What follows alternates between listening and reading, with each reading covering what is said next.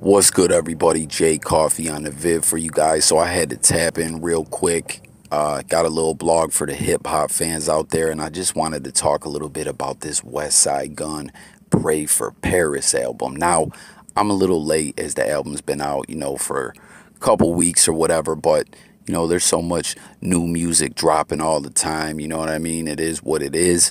But um, I saw some stuff hitting the headlines a couple weeks ago where where Westside Gunn was putting it out there to the people. You know what I'm saying? I'm much more than a rapper. I'm an artist. This is a movement that we got going. Like this is this is bigger than than what people may originally comprehend. And um, I don't know. You know what I mean? I've seen people sometimes say things almost along the lines of calling Westside Gunn whack. And um, I'm not saying I've seen a lot of people saying this, but Westside Gunn is just so different, in my opinion. Um, the whole Griselda movement.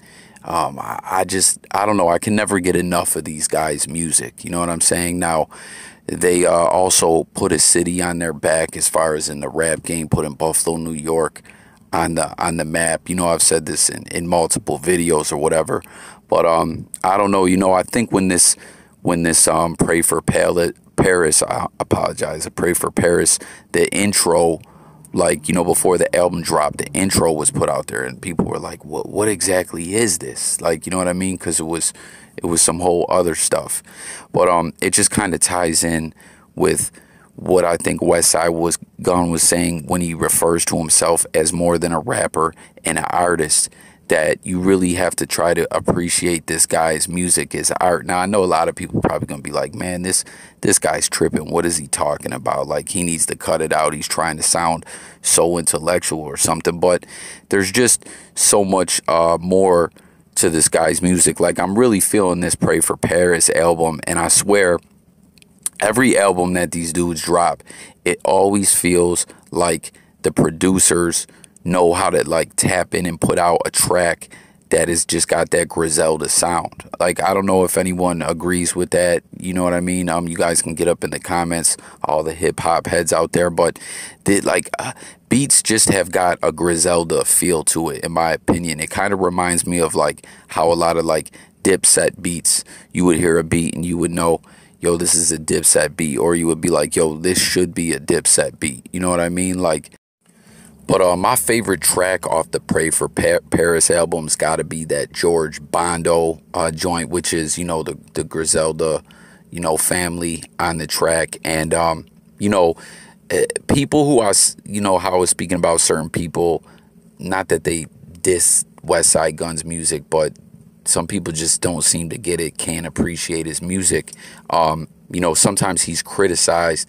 They don't feel like he's super lyrical or something like that. But um, you know, that's that's uh, I mean, he has the ability to to really spit some bars, and a lot of times, you know, he'll be on the track with uh, Conway and Benny, and I mean, we know these dudes are just spitters. You know what I mean? Like they're so nice with their with their uh, words. Like you know, it's it's uh, really amazing music in my opinion. But Westside Gunn has the ability to do that too and shows that off on multiple tracks on this album. Like he he really goes in.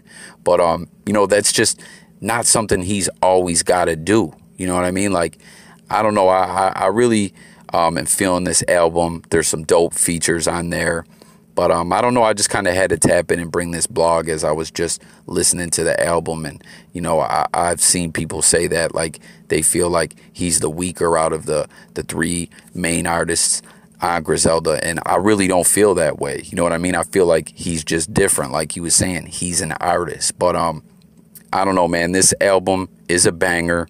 Um, I want to hear, you know, anyone who listens to this tapping in the comments with your favorite tracks off the album and how you kind of feel about what I was saying on this uh, this blog here. But um, yeah, aside from the from the music, you know, and from this album being fire, in my opinion, you know, these dudes con continue, you know, to this amazing journey through hip hop. You know, um, the Roc Nation deal. Uh, like I said, we just seen Westside Gunn was doing stand up comedy, and also I'm very glad he was able to to beat that virus. You know, uh, that's uh, you know good for for uh, Westside Gunn because that was a little scary. You know what I mean? I, I don't know, man. I seen uh, one of the videos where he was talking about.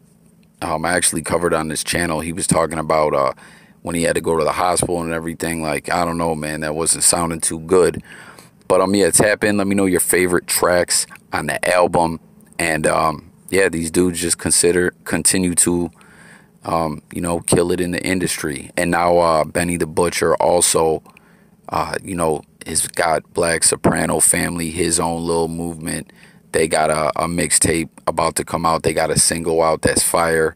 Um, you know, Griselda continues to do their thing. So look forward to talking with you guys in the comments. Anyone new out there, make sure to sub to the channel, hit the bell, guys. Thanks for tuning in. It's Jay Coffee Talk signing out. I'm out of here. Peace.